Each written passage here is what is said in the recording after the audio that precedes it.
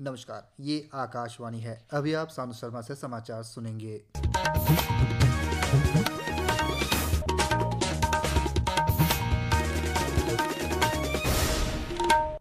पहले मुख्य समाचार। प्रधानमंत्री नरेंद्र मोदी आज नई दिल्ली में जमैका के प्रधानमंत्री डॉक्टर एंड्रयू हालनेस के साथ वार्ता कर रहे हैं। जम्मू कश्मीर में विधानसभा चुनाव के तीसरे और अंतिम चरण में मतदान में चौवालीस प्रतिशत मतदान दर्ज किया गया। कृषि और किसान कल्याण मंत्री शिवराज सिंह चौहान ने आज किसानों की समस्याओं का समाधान करने की सरकार की वचनबद्धता दोहराई।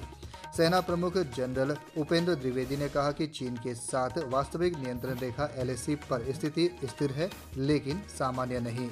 अब समाचार विस्तार से। प्रधानमंत्री नरेंद्र मोदी आज नई दिल्ली में जमैका के प्रधानमंत्री डॉक्टर एंड्रयू हालनेस के साथ वार्ता कर रहे हैं। प्रधानमंत्री ने हैदराबाद हाउस पहुँचने पर डॉक्टर हालनेस का गर्मजोशी से स्वागत किया।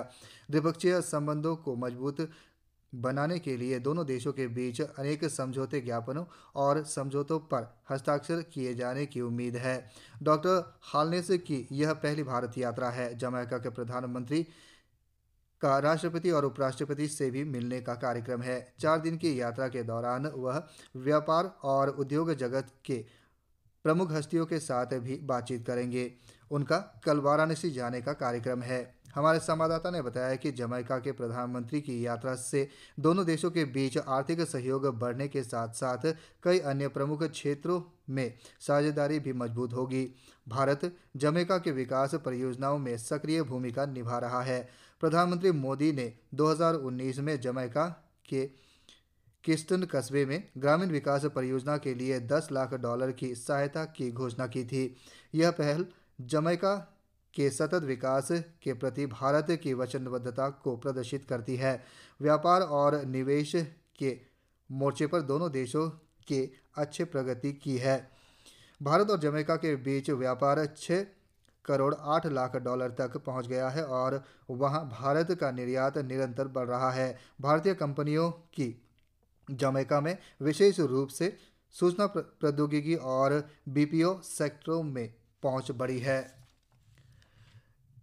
जम्मू कश्मीर में विधानसभा चुनाव के तीसरे और अंतिम चरण के मतदान में चौवालीस प्रतिशत मतदान दर्ज किया गया। हमारे संवाददाता ने बताया है कि मतदान केंद्रों पर मतदाताओं की लंबी कतारें लगी हुई है। सात जिलों के सभी चालीस विधानसभा सीटों के पाँच हज़ार आठ मतदान केंद्रों पर सुबह सात बजे कड़ी सुरक्षा के बीच मतदान शुरू हुआ। मतदान वाले जिलों में जम्मू क्षेत्र के जम्मू कटवा और सांबा तथा कश्मीर घाटी के कुपवाड़ा, बारामूला और बंदीपुरा ज़िले शामिल हैं। चुनाव आयोग के पारदर्शी तथा निष्पक्ष चुनाव सुनिश्चित करने के प्रयासों के तहत सभी मतदान केंद्रों पर वेबकास्टिंग तथा पेयजल, बिजली शौचालय दिव्यांगजनों के लिए रैंप, व्हीलचेयर, फर्नीचर और सैड की सुविधा की गई है। विधानसभा चुनाव के पहले दो चरणों के लिए 18 और 25 सितंबर को मतदान हुआ था। मतों की गिनती 8 अक्टूबर को की जाएगी। हरियाणा में विधानसभा चुनाव की तीस तारीख नज़दीक आने के साथ ही प्रचार अभियान तेज हो गया है। राज्य की नब्बे विधानसभा सीटों के लिए 5 अक्टूबर को मतदान होगा। विभिन्न राजनीतिक दलों के नेता अपने पार्टी उम्मीदवारों के लिए समर्थन जुटाने के लिए कई रैलियाँ और रोड शो कर रहे हैं। वरिष्ठ भाजपा नेता और प्रधानमंत्री नरेंद्र मोदी आज फरीदाबाद के पास पलवल ज़िले के गतपुरी टोल प्लाजा पर एक चुनावी रैली को संबोधित करेंगे। जम्मू कश्मीर और हरियाणा में विधानसभा चुनाव के लिए वोटों की गिनती इस महीने की आठ तारीख को होगी। कृषि और किसान कल्याण मंत्री शिवराज सिंह चौहान ने आज किसानों की समस्याओं का समाधान करने की सरकार की वचनबद्धता दोहराई। नई दिल्ली में किसान संगठनों और किसानों के साथ हुई दूसरी बैठक के बाद मीडिया को संबोधित करते हुए श्री चौहान ने कहा कि इस बैठक के दौरान उर्वरक के अधिक उपयोग सहित बीज और कीटनाशकों की उपलब्धता को लेकर विभिन्न समस्याओं पर चर्चा हुई।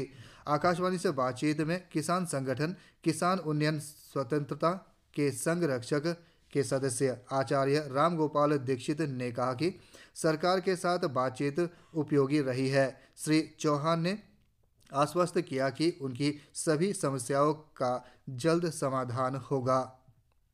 इसराइल द्वारा दक्षिण लेबनान में जमीनी हमला शुरू होने से तनाव बढ़ गया है। इसराइली डिफेंस फोर्स आईडीएफ ने उत्तरी इसराइल के निवासियों पर तत्काल खतरों का हवाला देते हुए सीमा के निकट हिजबुल्ला के ठिकानों पर सीमित और लक्षित हमले शुरू किए हैं।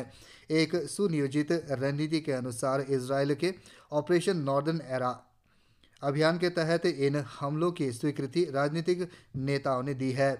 आईडीएफ ने खबर दी है कि सेना इन हमलों की तैयारी में कई महीने से प्रशिक्षण ले रही है। सेना को इजरायली वायुसेना और तोपखानों से समर्थन मिल रहा है। सेना इन क्षेत्रों में सैन्य ठिकानों पर सुनियोजित हमला कर रही है। यह संघर्ष कई मोर्चों पर फैल चुका है। इसराइल द्वारा स्थानीय निवासियों को खाली करने के आदेश जारी किए जाने के बाद यह कई सीमावर्ती ठिकानों को निशाना बनाकर बेरूत से दक्षिणी उपनगर पर और अधिक हवाई हमले शुरू कर चुका है। लेबनान के स्वास्थ्य मंत्रालय ने बताया कि सिर्फ़ सोमवार को इन हमलों में लेबनान में कम से कम पंचानवे लोगों की मौत हो गई है। इस बीच इसराइल और हमास ने लेबनान में हमास के प्रमुख फतेह शरीफ अबू अल अमीन की मौत की पुष्टि की है। सेना प्रमुख जनरल उपेंद्र द्विवेदी ने कहा है कि चीन के साथ वास्तविक नियंत्रण रेखा एलएसी परिस्थिति स्थिर है, लेकिन सामान्य नहीं।